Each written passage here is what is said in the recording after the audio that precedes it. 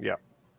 Yeah. Um, and so, I mean, it, um, well, let, let's spend the, let, let's make sure that the person that deserves our respect, admiration, attention does get it. Kyle Beach was the, the player revealed as, um, the victim in all of this. He, uh, he did his interview with Rick Westhead on TSN.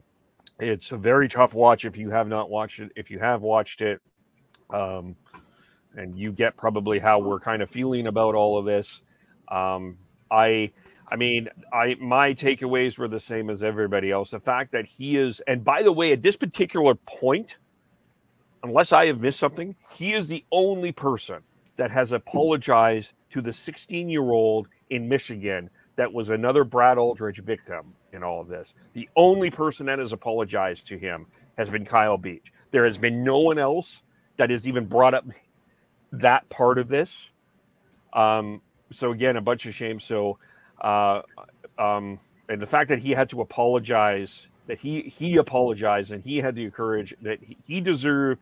There's no apologies needed from Kyle Beach. If any, but the NHL hockey, we all failed Kyle Beach. We owe him an apology. We owe the 16 year old victim in Michigan an apology. We are the ones that should be saying, I'm sorry the last person in all of this that needs to be saying I'm sorry is Kyle Beach. Yep. Yep.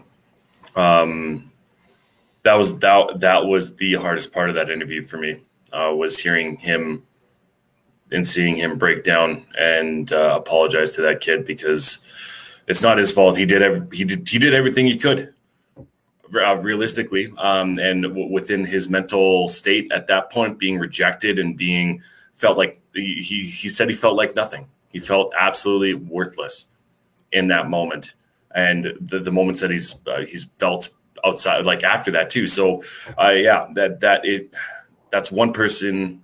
Kyle Beach should not be apologizing to anybody here at Cuff, and um, there, like I said, there's so many people who have to they they need to talk further about this, have press conferences, talk from the heart and not lawyer bullshit.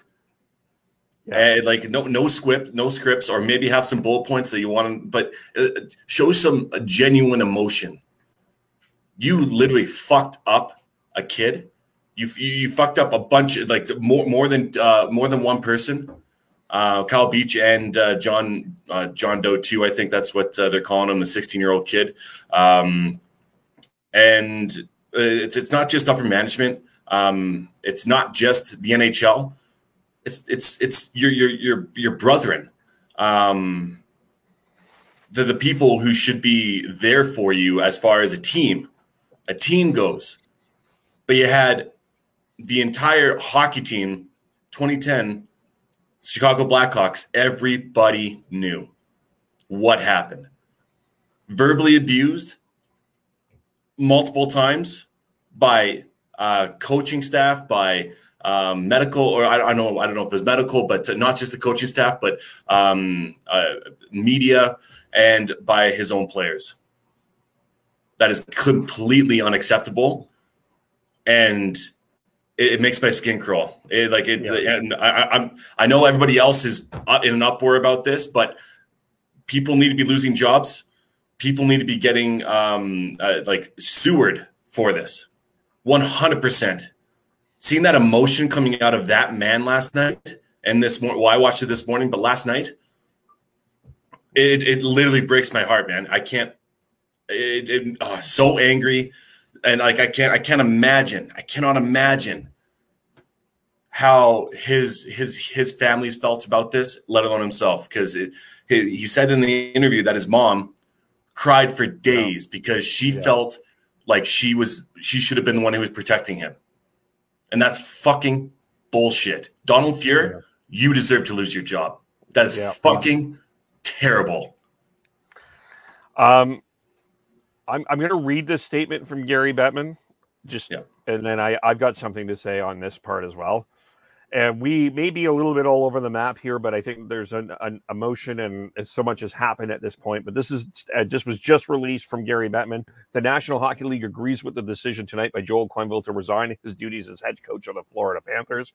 In his former role as Chicago Blackhawks head coach, Mr. Quenneville was among several former member, members of the club's senior leadership group who mishandled the 2010 sexual assault claim by former player Kyle Beach against the club's then video coach, Brad Aldrich. And following a meeting with Mr. Quenneville, that took place this afternoon in my office.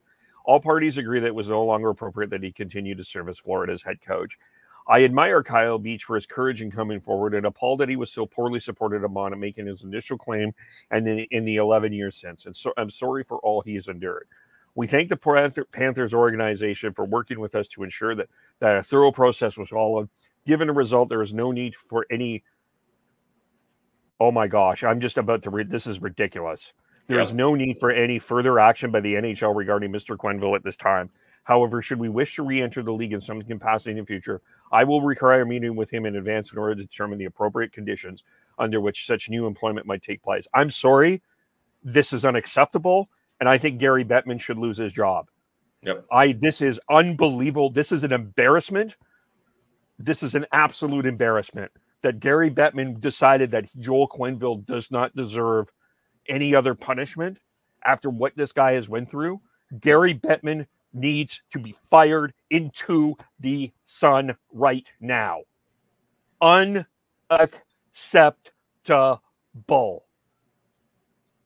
Unbelievable. This is poor leadership.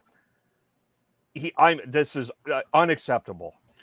Gary Bettman is uh, employed by the owners of uh, the, the, the hockey, uh, every team in the hockey uh, NHL, their National Hockey League. Um, every single owner needs to be taken uh, back by this and needs to be taking action right now too, in order for a suitable punishment for everybody who's been involved. The fact that Bettman is saying that uh, Quenneville, if he wants to return, he's going to have a meeting about it that, that shouldn't be in a question. Should be zero, a, a zero chance of him coming back. Let alone once again everybody else who's fucking involved with this. I, yeah. I, I know he's a lawyer, and lawyers they need to do what they need to do to protect themselves and protect their jobs and protect uh, the the people that they are employed by employed employed by um, I, I just I, I don't understand. And this is where watching hockey tonight was hard for me. Yeah, I couldn't. I, I couldn't get into it for the first period. It got better throughout the game, but it's just like such a somber note. I, I just, yeah, I, I don't know yeah. what what need like I, we obviously know what needs to happen. It's just, it's just it's speechless. It's just dumbfounded, speechless um, emotion coming from me right now.